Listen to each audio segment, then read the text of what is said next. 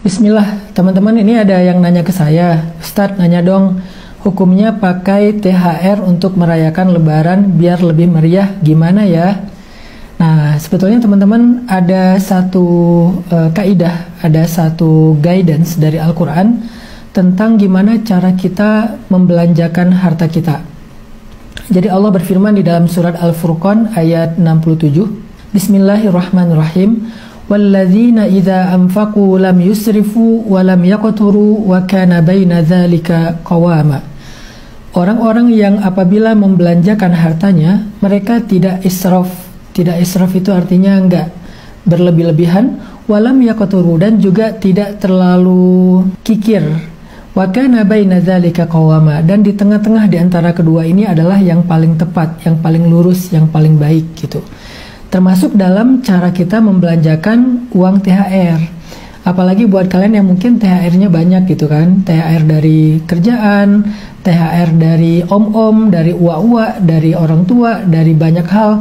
Ketika nanti udah mudik, semuanya pada ngasih uang lebaran. Nah, uang yang sebanyak itu tuh boleh nggak kita pakai untuk memeriahkan lebaran dengan beli uh, kembang api misalnya, atau jajan dan segala macam dengan target ya udahlah habisin aja. Ini kan memang uang untuk lebaran gitu kan. Ternyata uh, Al-Quran ngajarin kita nggak gitu. Al-Quran ngajarin kita walaupun kita banyak duit kita tetap disuruh pilih yang tengah.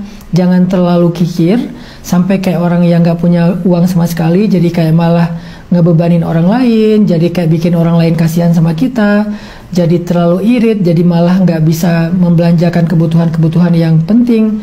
Jangan juga terlalu israf jangan juga terlalu foya-foya tetap di tengah-tengah artinya emang ya sewajarnya aja Uh, dan yang paling baik emang dialokasikan ke kantong-kantong yang sesuai dengan uh, target kita. Nanti ada kantong buat tabungan apa, buat tabungan apa, itu masing-masing ada kantongnya.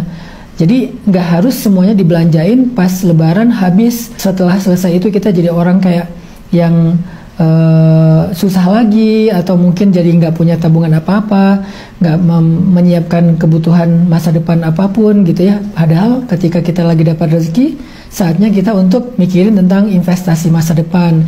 Makanya memang kita perlu untuk menyiapkan kantong-kantong masa depan itu.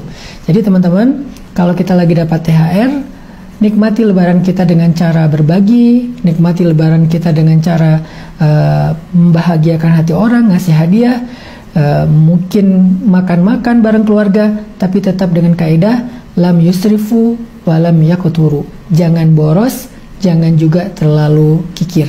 Semoga THR bukan hanya untuk lebaran tapi juga untuk uh, investasi masa depan kita. Barakallahu fikum